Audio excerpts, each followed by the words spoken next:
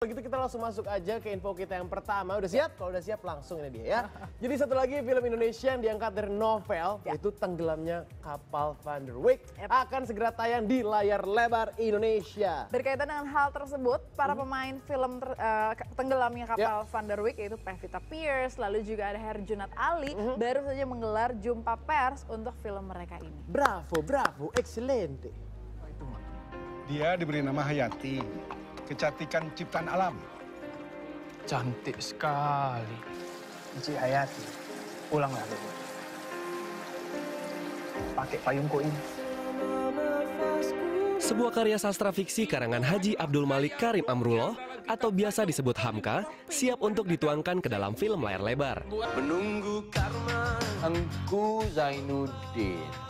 Novel yang mengambil latar belakang masalah adat dan kelas sosial di Minangkabau syarat dengan nilai kemanusiaan yang tergambar dalam konflik di antara tokohnya.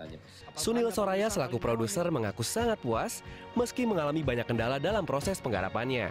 Namun hingga detik ini, ia yakin film tenggelamnya kapal Van der Wijk akan menjadi tontonan yang luar biasa dan patut ditonton sebagai refleksi akan banyaknya karya sastra Indonesia yang berkualitas.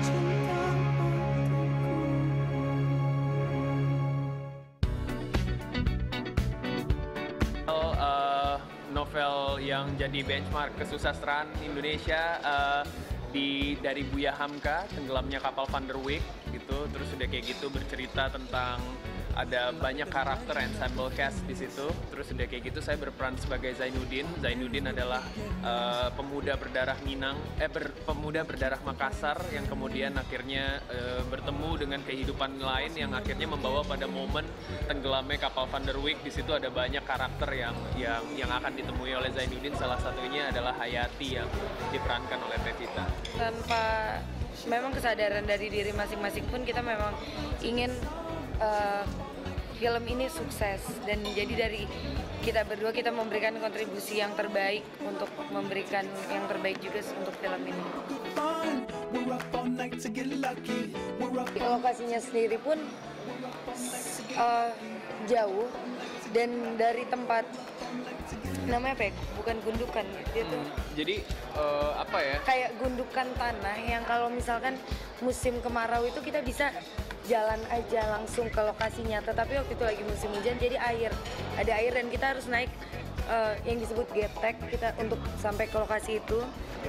Tiba-tiba suka kadang ada udah bagus nih udah sama-sama intens.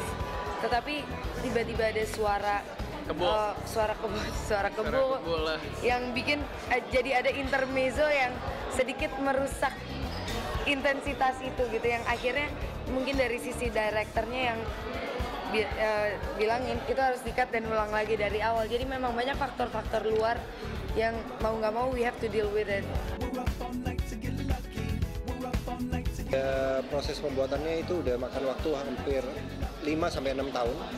Pertama prosesnya itu dari sisi penulisan adaptasi skenario, terus dari eh, production design tahun 1930, research kapal, research kostum, research eh, setiap adegan, setiap kostum yang dipakai, setiap mobil yang kita cari semuanya itu kita cari yang, yang itu yang makan waktu research lama. Ini bakal jadi film yang booming, meledak banget. Kenapa? Karena proses syutingnya juga dilakukan semaksimal mungkin dengan anggaran budget juga luar biasa, Vira sampai 12 atau 15 miliar. Sekitaran segitu. Sekitaran segitu ya, itu berarti kan menunjukkan eh, keseriusannya untuk menggarap film ini sendiri. Dan sekarang para pemainnya dan juga produsernya, direkturnya juga yaitu seorang Sunil Soraya sedang sibuk melakukan eh, promo di beberapa kampus mungkin untuk nge-grab dulu masa-masa yang ada di kampus-kampus. anak mahasiswa Betul. mungkin ya dan sebagainya. Dan nah kalau ngomongin tentang uh, tenggelamnya kapal Van Van der der Wijk. Wijk sendiri, ini kan memang diangkat dari sebuah novel, Novel. uh, klasik karya Novel Buya sastra, Hamka, Buya betul Hamka. sekali, yang dirilis tahun 1939. Sebenarnya gini Beb, dulu waktu pertama kali dirilis ini memang buku ini menjadi wa- buku wajib bacaan anak-anak sekolah di Indonesia dan juga di Malaysia oke. karena memang uh, berhubungan erat banget sama budaya orang uh, Minang. Orang Minang. Orang Minang Dan juga segala ada macam. Makassar ya? Makassar tapi sebenarnya uh, dari ceritanya sendiri mengangkat adat orang Minang yang akhirnya dengan berbagai macam batasan-batasan itu mm -hmm. perempuan itu banyak sekali batasannya mm -hmm. yang akhirnya membuat uh, si penulis yaitu Buya Hamka sendiri merasa aduh kok karena tradisi segala macam perempuan dan semuanya kok jadi serba terbatas Ada dan sebagainya. batasannya. Akhirnya ditulis dalam buku, mengundang berbagai macam kritik sebenarnya Mhm. gitu dan akhirnya sempat juga bahwa buku tersebut ini eh, dibilang katanya oh ini mirip sama hasil karyanya siapa kayak gitu-gitu. Oke, oke, Ada yang mirip-miripin dan sebagainya. Tapi akhirnya memang eh, buku ini pun mendapatkan tempat yang baik sekali untuk orang Indonesia tepatnya eh, dan khususnya juga untuk orang Minang sendiri Betul. karena memang penulisnya juga berdarah Padang gitu kan.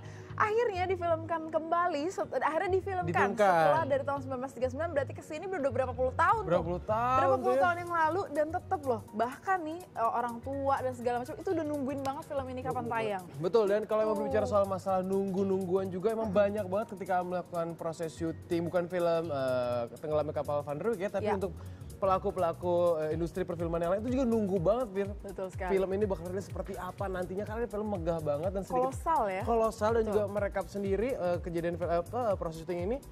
Emang ini memakan waktu yang cukup lama, Panjang. kemudian juga menggunakan Cast-nya juga pemain-pemain juga luar biasa. Ada Reza Radian, ada Pevita Pierce, semua ada Herjunot Ali dan beberapa nama besar lainnya. Mm, dan disutradara langsung oleh seorang Su- Sunil, Sunil Soraya. Soraya. Dan berarti ini akan menjadi debut eh, seorang Sunil Betul. dalam mensutradarai sebuah film ya. Yes. Seperti apa nanti filmnya ditunggu aja. Sebentar lagi film ini akan tayang di seluruh bioskop di seluruh Indonesia khusus untuk Anda para pecinta film Indonesia. Wajib nonton. Kalau nggak nonton, Dosa.